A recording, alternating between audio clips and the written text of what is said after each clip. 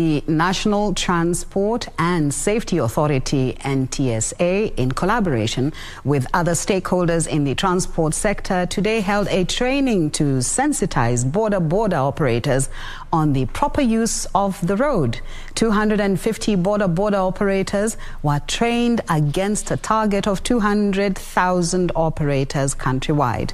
The training is aimed at reducing road accidents caused by boda boda riders. Yes, so we were... The grim statistics on road carnage among the boda boda operators appear to be a pain point to the National Transport and Safety Authority NTSA and other stakeholders in the transport sector who are here today to ensure that they safely ride their units. And so we've brought together as well the assemblers, the retailers uh, who are behind us, as you can see, to eagerly help them, teach them, and help them understand as part of riding safely together. So as part of the Jagam Singi product that we're uh, partnering with Watu Credit, they have consequently held a one-day workshop to re-educate boda boda operators on the proper road use. The boda boda operators were trained on how to administer first aid to those who have been injured during the accidents. And so, if we train them in uh, first aid, they will be at least able to help those who are injured. They help themselves, they help their pillion passengers, but they will also be helpful even at their homes. So far, 250 boda boda operators have been trained against the target, 200,000 across the country. We are united with one purpose uh, to support Kenya somehow to reduce the number of the deaths and injuries on the roads.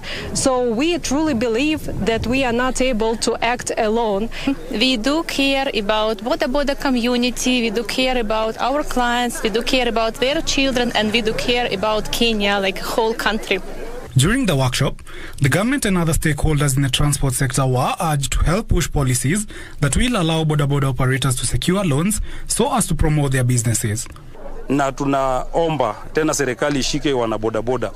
Ile president alisema watatusaidia kuweka pesa kidogo kwa SACCOS zetu.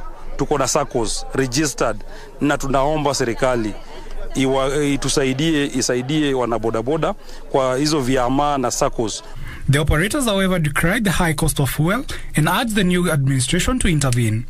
This even as the proposal to use electric model of motorbikes was fronted to deal with the fuel crisis. So if we are able to get quite a number of uh, uh, quite a number of model of electric motorbike coming into the market, I think it will be an advantage to our riders because now they'll not be having the cost of fuel being a problem to them in terms of payment. Because if they are able to get the income and they don't have any other, maybe the cost of uh, or the cost of um, maintaining the motorbike reduces, repayment and also maintaining their portfolio will be up.